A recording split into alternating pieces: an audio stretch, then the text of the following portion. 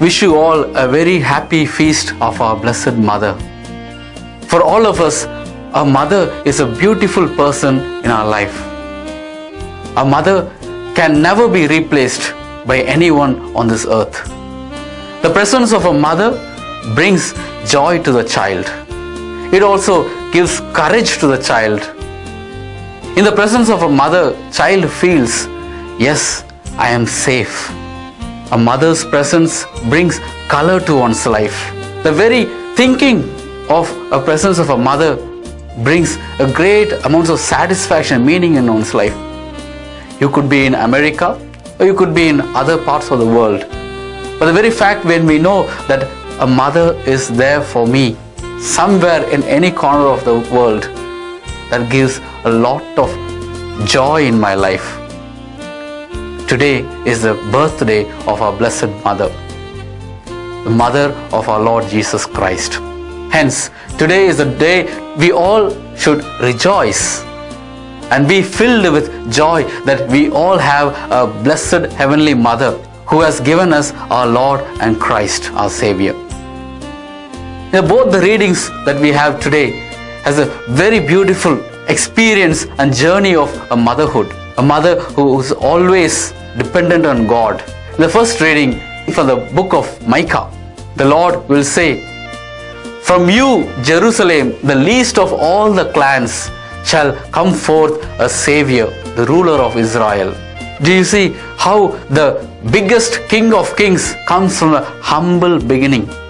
When you come to gospel, you see the same thing reflected on our Blessed Mother.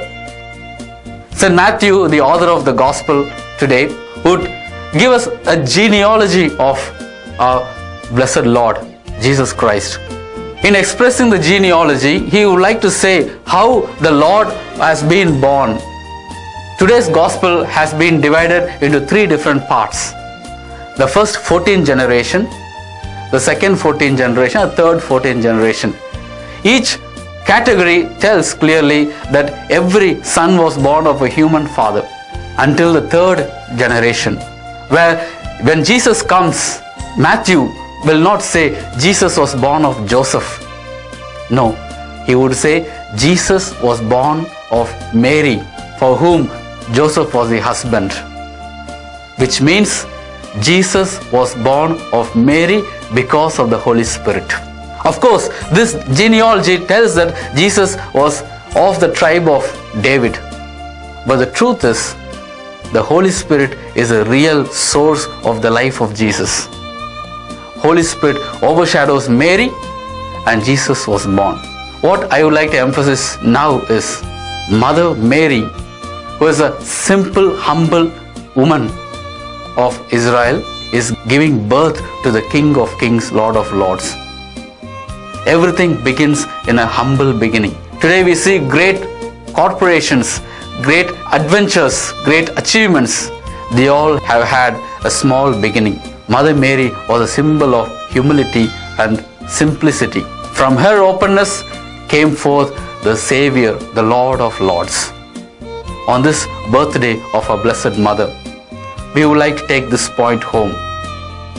No matter how simple our life is, no matter how small our situations are, if we are bent on to Christ, bent on to God, the Lord will make use of us.